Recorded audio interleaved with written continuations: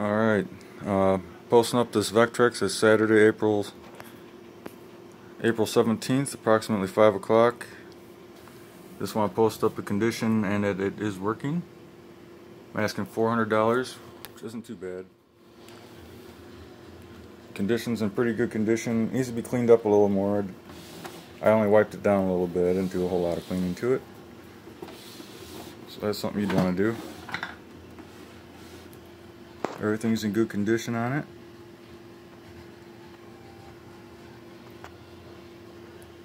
Everything works. There's a slot cartridge for games.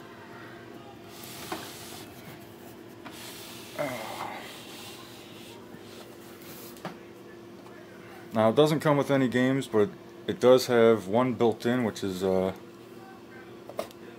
Mine Storm. Oh, let me put this down for a second. I had to get the controller out. It has a little push button so you can get it out. It takes two hands though. So everything works on here.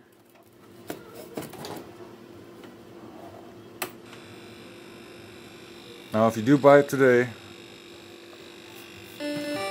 so there's no stretching, nothing funky going on.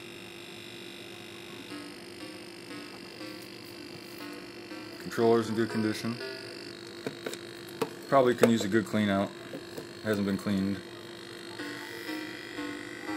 There's inside there's looking good. Alright. Left, right. Shoot.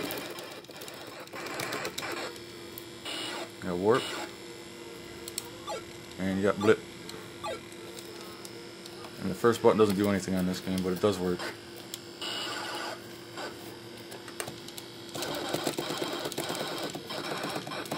Trying to play one-handed isn't easy. Alright, so that's that game. That's the built-in one. Now, like I said, if you buy it today, I have these two games right here. They don't have the carts that they go into, but most of the games you buy online, if they're like a homebrew, they don't have carts, so they just look like this. Okay, just put that in here.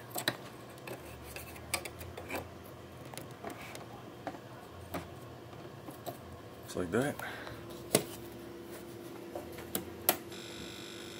It's got a nice strong buzz, just like all the other ones. Get this straight so it doesn't look crooked.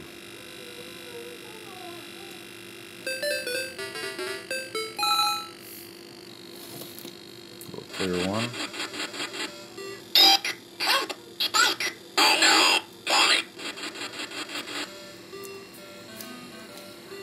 Not a big fan of this game, I know.